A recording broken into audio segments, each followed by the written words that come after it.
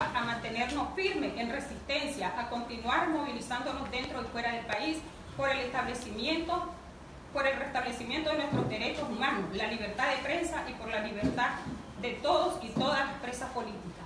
Este sábado 23 de marzo, de 2 a 4 de la tarde, convocamos a todos los nicaragüenses a unirnos en jornada nacional de piquete express, desde donde te encuentres y en unidad movilizarte y expresar con tu bandera azul y blanco demandas de libertad, justicia.